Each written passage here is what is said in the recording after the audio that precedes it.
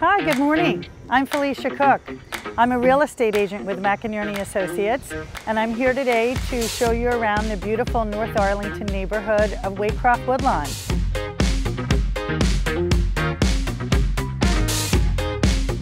This neighborhood was established in the 1930s. It's got about 500 homes. It's a great mix of colonials and Cape Cods, cottages, new builds. About 88% of the residents own their homes. The median home value is about 1.1 million. We're 15 minutes to DC. You can jump on I-66 or you can walk to the nearby Ballston Metro. When you think about Waycroft Woodlawn, you think about walkability.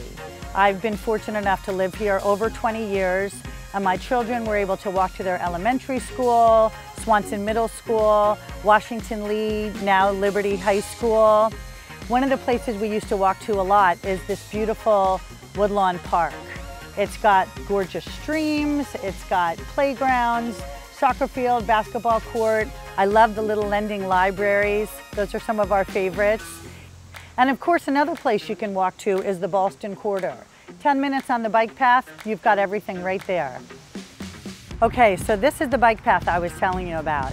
It's called the Custis Trail. This is the stop into my neighborhood. It's just such a gift to have here. It's, it's perfect to bring everybody out. You can exercise and ride your bike, or you can walk, as I mentioned. You walk that way, you get to Rosslyn, and then over the Key Bridge into Georgetown. Or if you walk this way, you can end up in Ballston or into Falls Church. So here we are on the Ballston Quarter. Lots of dining options. You've got your fast casual. You can get a salad at Sweetgreen, You can get a bowl at Cava. Across the street, you can get some tacos at Taco Bamba. Or you can try some of my favorites. If you like Mexican, El Rey's right behind me. We love True Food. We love the Mussel Bar. Just plethora of dining options. In addition to the dining, there's a lot of workout options around here. There's an Orangetheory to the left. There is One Life Fitness in the building across the street, and there's Bash Boxing nearby. There's also entertainment options. There's Punch Bowl Social. You can go to the movies in the Ballston Mall, or you can even watch the Washington Capitals work out at the MedStar Iceplex. And the last thing right around the corner is the brand new Harris Teeter on Glebe Road. It's amazing. They just opened up. It even has a wine bar.